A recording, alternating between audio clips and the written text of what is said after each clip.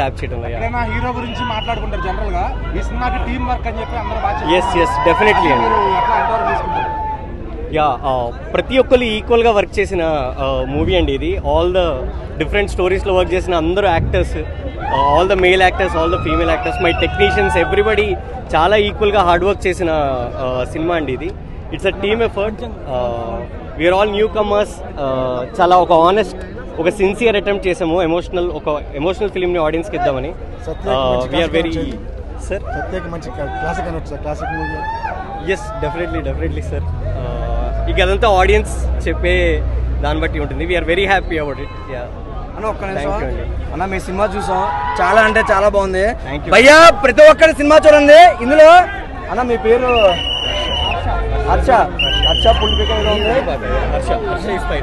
పులిపాక ఇంటి పేరు వంశం పేరు నిలబెట్టారు నిజంగా.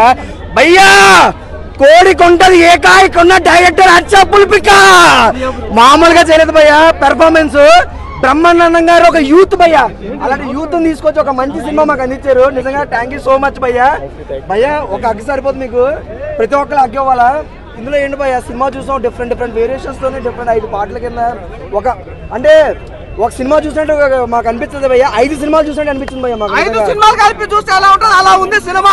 అంటే ఐదుగురు డిఫరెంట్ క్యారెక్టర్లు అసలు మీ దీనికి అసలు అంటే సినిమాలు అందరు తీస్తారు కానీ మెయిన్గా ఐదుగురిని క్యారెక్టర్లు డిజైన్ చేసి దానికి బ్రహ్మానందం గారిని ఇంటరాక్షన్ చేయడం సూపర్ అన్నది. అది నాకు బాగా నచ్చింది.